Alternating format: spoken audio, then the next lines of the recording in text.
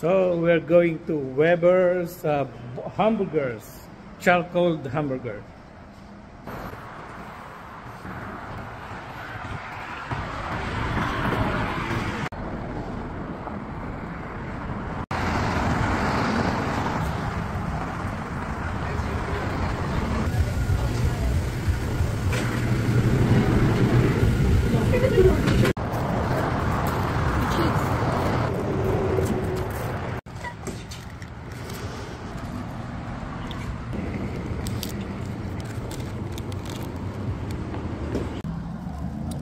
Weber's hamburger.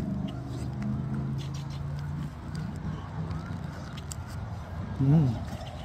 Also Baskin Robbins here. Juicy, delicious.